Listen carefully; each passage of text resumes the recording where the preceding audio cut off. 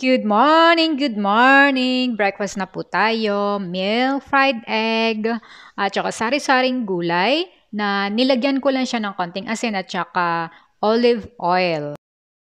Ang gulay po namin dito, hilaw mang kainin or lutuin, ibinababad ko muna siya sa baking soda na may tubig. Uh, tunawin yung baking soda doon tapos ilagay yung gulay ng 5 minutes, then wash. Tapos uh, vinegar at saka tubig naman ng 5 minutes uli. Then, wash for 2 times. Pantanggal daw po yun ng pesticides. Ang asin daw po kasi, ano, pamatay lang yun ng, ano, ng uod. Sabi po yun ha.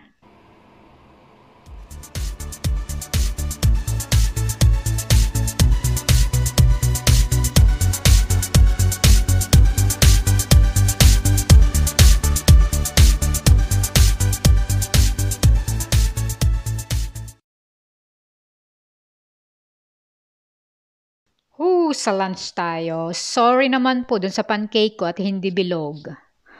Ayan, durog. Tinadtad ko po yung sili, pero hindi po siling labuyo ha, masyado maanghang yon. Yung sili na mas malaki ang size dun sa nilalagay natin sa pinakbet. Yan. Tinadtad ko, tapos inalo ko siya sa uh, beaten egg at saka nilagyan ko ng asin. Tapos ayun, pinirito ko na. Masarap po yan naman pong salad cucumber, hinaluan ko siya ng konting garlic, asin, suka, konti lang, soy sauce, asukal, at saka uh, sesame oil. Pwede rin po ng olive oil. Yan, kung ano po yung gusto nyo ilagay na oil. Uh, tapos yung cucumber, tatanggalin po yung balat, pero mag-iiwan kayo ng konting green-green para medyo maganda siyang tingnan.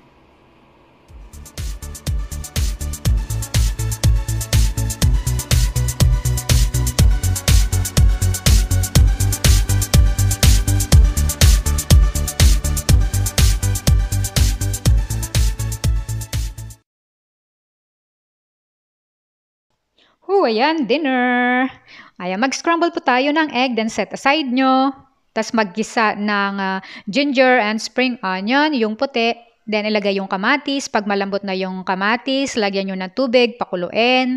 Then ilagay yung noodle. Pag malambot na yung noodles, ihalo nyo yung kung anong gusto nyong vegetables na ilagay. Then pag half cooked na, pwede nyo nang ilagay yung uh, uh, lutong itlog. At uh, timplahan nyo na, tapos silagay nyo pinakahuli yung spring onion. Salad okra naman, steam or uh, boil, kung anong gusto nyo, palambutin siya. Then, uh, strain nyo, tapos hatiin nyo siya kung malalaki. Chop ng garlic, haluan ng konting soy sauce, sugar, asin, uh, tsaka suka. Parang doon din po sa cucumber.